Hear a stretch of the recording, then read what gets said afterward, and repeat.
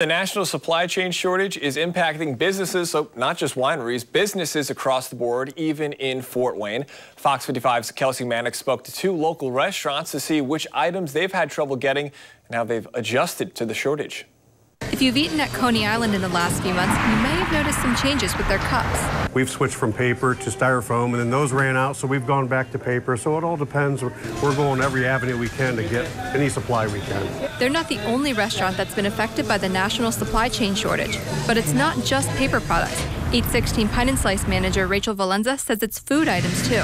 If it's a salad dressing, or if it's a type of dough, or if it's this type of lettuce, yeah, hard to get. Coney Island co-owner Jimmy Todoran says they ran out of their classic Coke bottles at one point because of a glass shortage. It's hard because Coney Island, they're used to a certain thing. Our customers are used to uh, certain brands. Purdue Fort Wayne economics lecturer John Kessler says multiple factors are causing the shortage, including a lack of raw materials and shipping issues. It's not just one thing, but all it takes is one thing to cause a problem. He says there's an increased demand for products too because people have more money to spend after the pandemic. The average person has 50% uh, more cash on hand today than they did two years ago. Valenza says it hasn't affected business too much, and they've only had to temporarily remove items from the menu at times. Everybody just has to be patient. If we don't have the spinach today, we'll get it next week.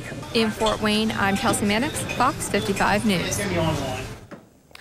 And Kessler said it could potentially be one or two years before the shortage is resolved.